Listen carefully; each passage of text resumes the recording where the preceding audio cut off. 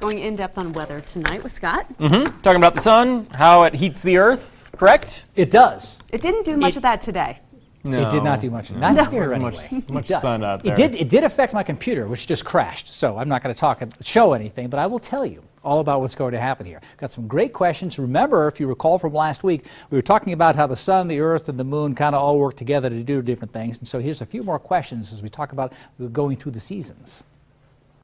Hi, my name is Kaylee, and I go to Peregrine. My question is, how does the sun and moon affect the temperature on Earth?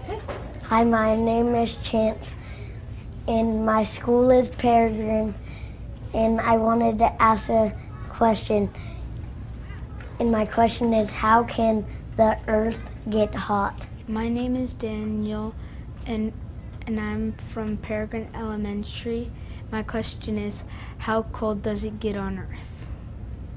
Great questions. And so we're talking about some extremes here. How does the earth heat up and how does it cool down? Well, and we'll talk about the actual temperatures of what we had, the hottest and the coldest on the earth. And here's uh, the high sun angle that heats the earth. Well, this is the key of why some places are hotter than others. In the summertime, when the sun is overhead, all that energy is focused in one spot and it will warm that part. But because the earth is round, you get different parts of the earth getting angled sun like this. And so that energy spreads out and you get cooler areas and hotter areas, and that cool air trying to balance out with the heat. And so generally what happens is the North and South Pole have the biggest extremes here. And what's going to happen is when we want to make the cold air, and the, when you get the wintertime in the Northern Hemisphere, you get that ineffective sunlight, so all that heat just continues to go up into the atmosphere, and it gets colder and colder in the North Pole. When we're in the summertime, the South Pole is getting coldest, and I will tell you this, the coldest temperature on Earth, they've actually had satellites now track it down to 136 degrees below zero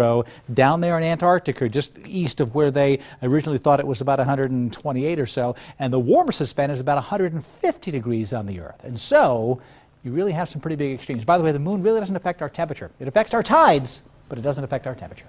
I'm pretty sure Wisconsin got pretty close to that. So, I was there. Those were some cute kids, too. Yeah, they were. Yeah. Cute kids. All right. Okay. So the scene has